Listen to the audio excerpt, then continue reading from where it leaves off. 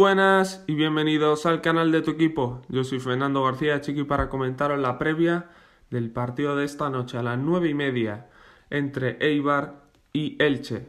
Un partido bastante importante para ambos teniendo en cuenta que los dos son de los únicos equipos que todavía no han logrado sumar una victoria en la presente campaña, con lo cual tienen ante sí una muy buena oportunidad, sobre todo el Eibar que al menos en las tres primeras jornadas es cierto que el Elche solo ha disputado dos, venía sumando buenas sensaciones. Cerca estuvo de empatar contra el Villarreal, cerca estuvo de empatar contra el Atlético de Bilbao, dejó buenos minutos de juego contra el Celta.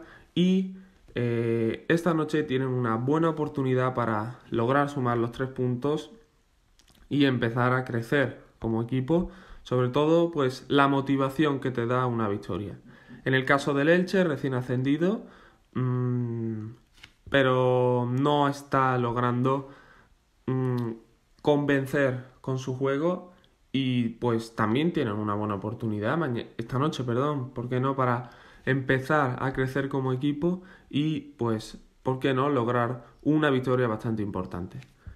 Mm, en cuanto a las convocatorias, pues hay ciertas novedades, ciertos cambios, puesto que hay que tener en cuenta que es la primera jornada que se celebrará entre semanas este año y pues los equipos llegan con cierto cansancio de la, de la última jornada y algún que otro cambio pues seguramente habrá en el 11 también teniendo en cuenta que estos equipos no llegan en su mejor momento físico.